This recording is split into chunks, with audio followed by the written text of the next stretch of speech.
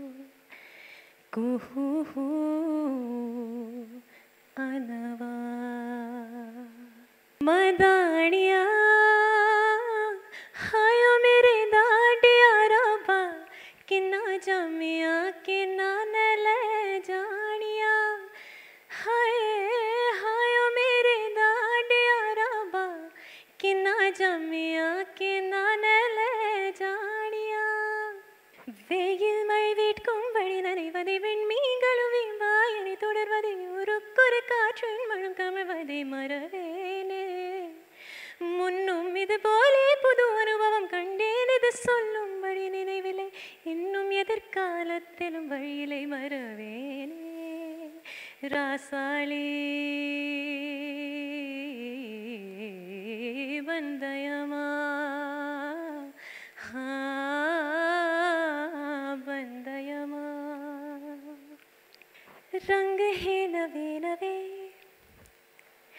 दुनिया है नई नई Mornings are just magical शाम भी है सुरमई ಮೈನಾ ಮೈನಾ ಅನ್ನುತ್ತನೇ ಹೊಡೆಯುವೆಲೈನ ಕಾಫಿ ಕುಡಿಸಿ ಕೈ ಹಿಡಿದು ಕೈ ಸವರೋ ಪ್ಲಾನ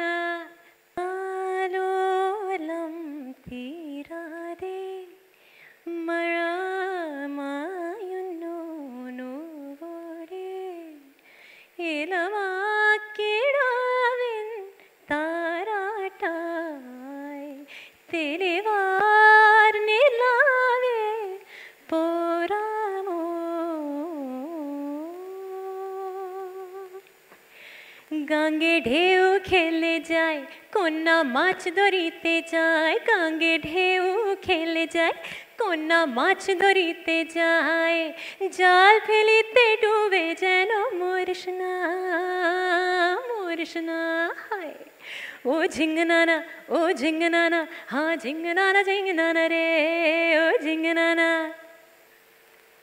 मैं फिर भी तुमको चाहूंगी मैं फिर भी तुमको चाहूँगी।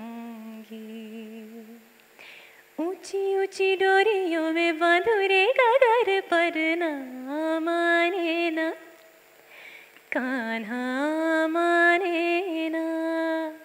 है तू ही रे तू ही रे है सांसों की तू बिजली। है तू ही रे तू ही रे बैटरी है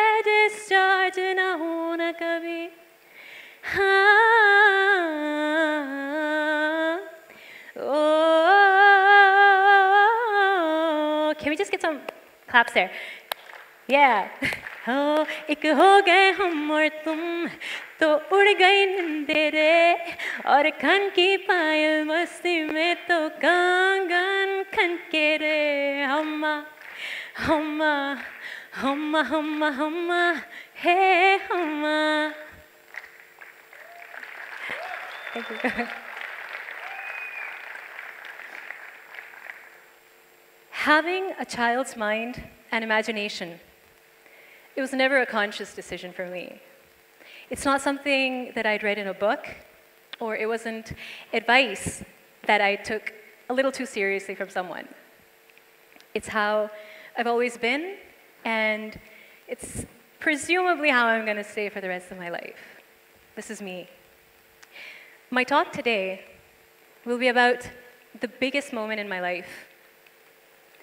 And before we get to that, I'd like to introduce you all to the four childlike characteristics in my personality, which kind of helped me get where I am in my journey. Number one, innocent curiosity. I love this one. Children are curious all day, every day. It's like they explore the world through all their senses, and their questions never stop. Who's, why's, what's, where's. They're always, always full of questions. And these questions are never asked with any sort of fear or apprehension of being judged or being laughed at.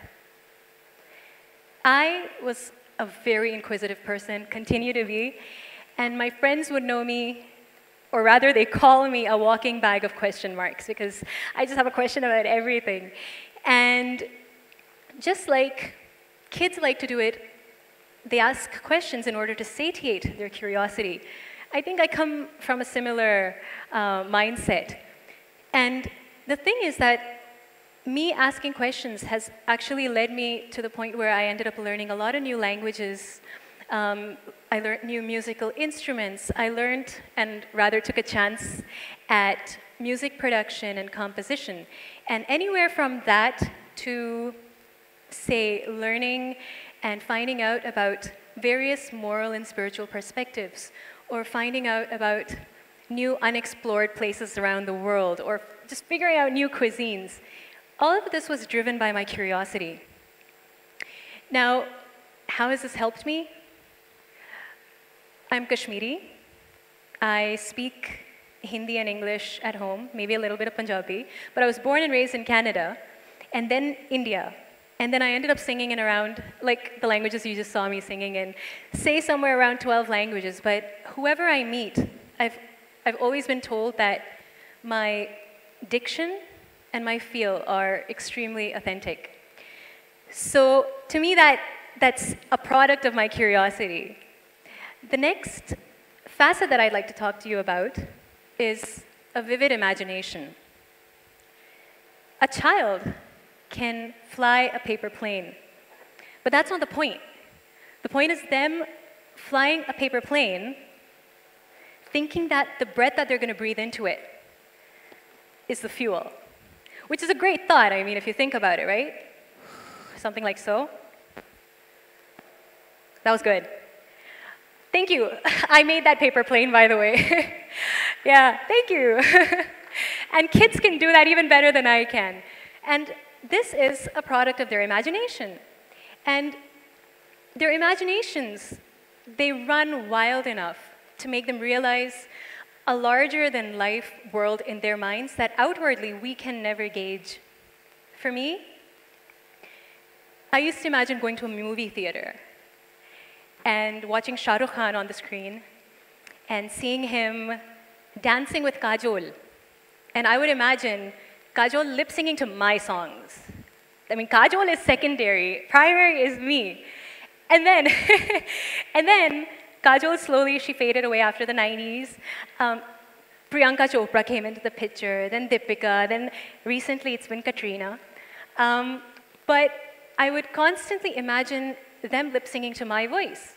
Slowly, that kind of took a back seat, and I came to the point where I would see myself on a stage like this, and probably a little bigger. I would see thousands of people I would hear a thundering applause, and I would picture the spotlight on me the way it is right now.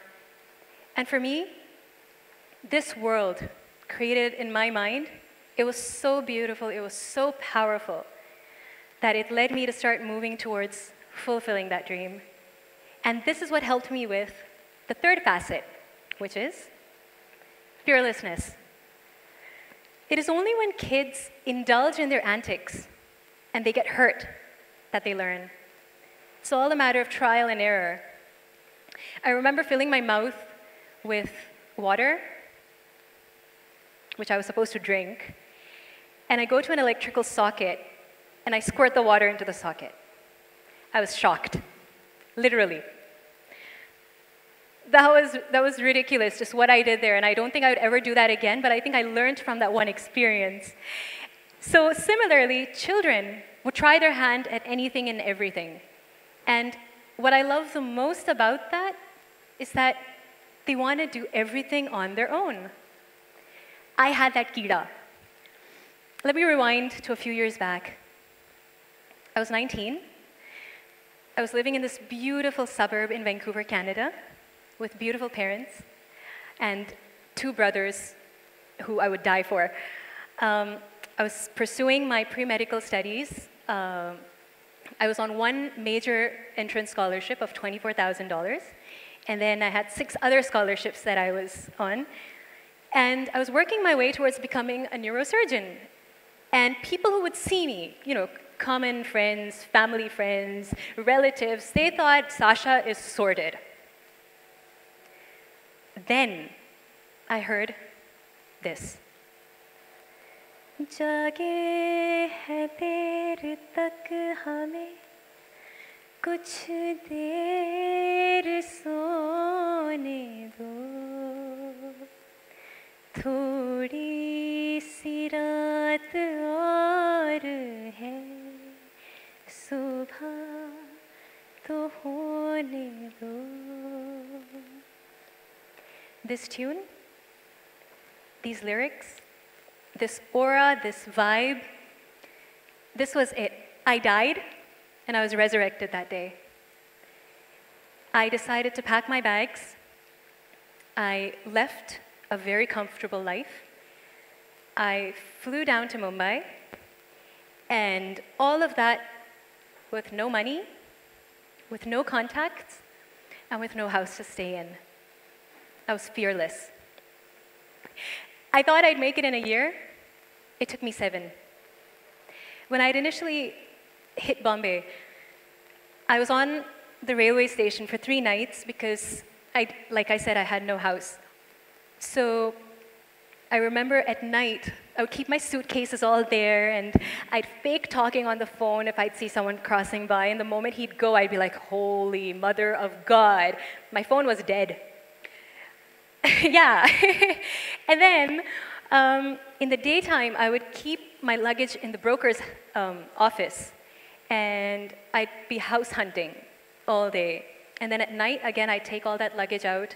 I was too proud to tell the broker that I don't have a place, can you let me just use your office to sleep? so this happened for three nights, and I finally found a place, which is two and a half hours from Bombay. So I used to commute by train to my house, which was in Kopar Khairane. Sounds really funny as well. And I'd travel all the way back to Bombay. There were times when, you know, I, I didn't have money. I would, I would save three bucks. I would walk six kilometers to save three bucks on a vada pav. And again, if I think about it today, maybe not today, but at that time, I was definitely very, very fearless. I was probably the epitome of fearlessness. so this was then. Um, and so many rejections, but having said that, let me go on to my fourth point, which is finding happiness in the littlest things. Children find joy and laughter in the smallest, subtlest places.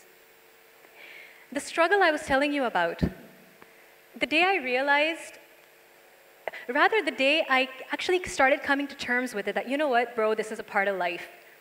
I think that's after which, that was the turning point, after which I kind of realized that, you know what, let's enjoy this. Let's enjoy this moment. Let's enjoy the struggle. Let's enjoy the pain. It's not going to come back. When I'm successful, there's no way I'm going to stand and spend the night at Kandivali station, that's for sure. So, coming to terms with that and enjoying that little pain that you get in every step of the way. You place a chocolate cake in front of a kid, and if there's a tsunami coming from that side, the kid will concentrate on the cake because he loves it. And so will I. The tsunami's going to come, it's going to come, it's going to take you away. Might as well enjoy the cake, right? Right? Thank you. so I don't see the point of, of setting unreasonable thresholds on happiness, if you get what I mean. It's, it's pointless, even in rough times. Enjoy that fresh cup of tea in the morning, enjoying that smell of rain, you know, enjoying a fan's appreciation, or someone just coming up and telling me that my hair looks nice today makes my day up. And it should yours too. You know, enjoy those little bits of appreciation you get or those little bits of compliments you get. You know, they're worth a million because the littlest pleasures are equal to the biggest pleasures because they constitute the majority of our lives. a huge chunk of our lives when put together. And speaking of finding happiness in little things, there was a time when I had left music for three years. I had gone into music production because someone had told me that aapki awaz kharab hai. And I took that very personally. I'm a Capricorn, I'm very sentimental. So I took that to heart, and I discovered a new side to me, which was to be a composer and to be um, a music producer. And I had, uh, sorry, I had singers such as Javed Ali, Mohit Chauhan, Palak Muchhal. I'm sure you've heard of all these people. They would all come and sing my songs. So it was a blessing in disguise. Um, and how this leads into my journey, which is the biggest moment in my journey, and that is A.R. Rahman sir. I was called for a recording um, after one month of auditioning for Coke Studio. And in Coke Studio, I was part of the choir. And my friend called and he's like, hey, Shashaa, would you be interested to do choir for Rahman? I was like, dude, I would be okay sharing just the frame with him. So I, I agreed, I did it, I got selected, and I was happy in that. And then a month later, I got called that Rahman would like to try your voice for a few songs. Can you come to Chennai? I was like, hell yeah. so then I went to Chennai, and today, I think it's around approximately 36 songs that I've recorded with him with languages. Thank you. So, final word on this is that it's fine to grow up. It's fine to be mature. But Please do not ever, ever, deep down, lose the child in you. It's very important for you to know that this child in you is the oldest part of you. It's what had initially been there, it's the purest part of you. It's been there with you since day one. So take it with you wherever you go and however far you go. And I will do the same. And that is my end note. But before that, I would like to say that i I owe everything to A.R. Rahman, sir. It's so important to have people like that in, in your life. And for me, A.R. Rahman, sir, has been the fuel to my fire. And I have no words. I was asked to speak about my relation with Rahman, sir, and how that's been um, in terms of my career. And I never have words to say. He's a genius, but beyond that, I get overwhelmed when I have to talk about him. There's just too much. So thank you. And don't forget the child in you.